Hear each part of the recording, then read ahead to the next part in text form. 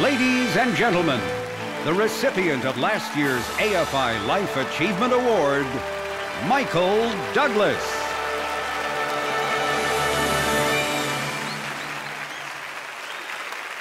Thank you. It's an honor for me to welcome you all to the 38th annual AFI Life Achievement Award and take part in this evening. This is one of the great traditions of American film. And one of the other great traditions of AFI is just like with the presidency of the United States, we are admired around the world for our peaceful transition of power.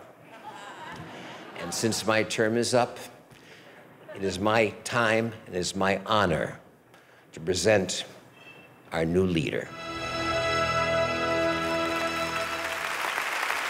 Ladies and gentlemen, Mike Nichols.